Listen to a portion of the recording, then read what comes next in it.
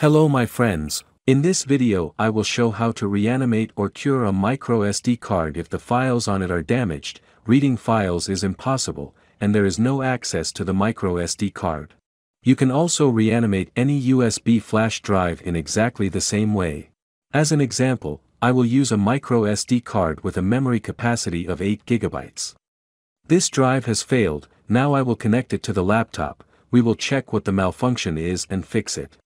To connect the microSD card to the laptop, I will use a special adapter for the microSD card.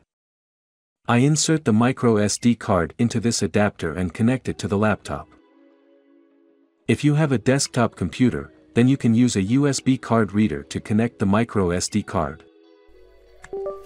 My computer immediately determined that the card was faulty and offers to format it, I agree.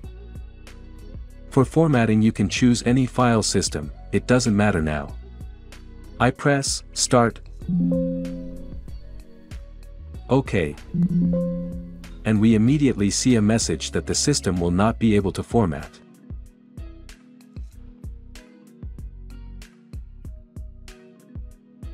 Okay, let's see what my micro SD looks like in this PC.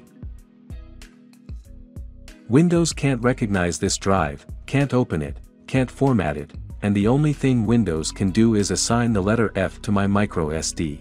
I'm closing this window and now let's solve this problem together. It's very easy to do, just use a free utility for low-level formatting, and here's the name of this utility. You can find it on the internet yourself, or open the description of my video, and click on the link to the download page of the utility. The official website of the developer of this program has opened, go down a little lower, and click on this link to download. After that, the launch file of the utility is almost immediately downloaded to the computer. Close the browser window, go to the download folder, and run the utility file. Agree to the terms of use, and select the free version, after which the main window of this utility appears in front of us. In this program window, I select my connected micro SD card, which is out of order. In my case, this is the device under the letter F with a memory capacity of up to 8 GB. You should know in advance that as a result of the process, all data on the formatted drive will be completely destroyed. Please be careful and do not make a mistake in choosing your device, so as not to accidentally delete data from any other disks. So, I selected my device under the letter F, then click on the button, Continue. In this window, I click, Low-Level Format, that is, low-level formatting, and a little lower I click, Format this device. I click, Yes, and after that, low-level formatting of my microSD card begins, after the process is complete, the green scale will turn yellow. The utility has finished its work and the formatting is complete.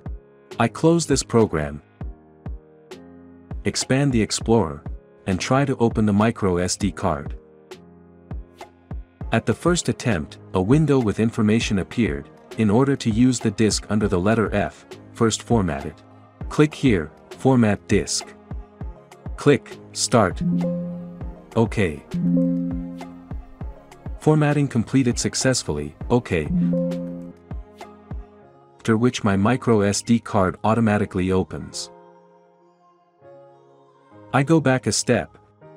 As we can see, the drive now opens without problems, and you can work with it without any problems, the malfunction was eliminated thanks to low-level formatting.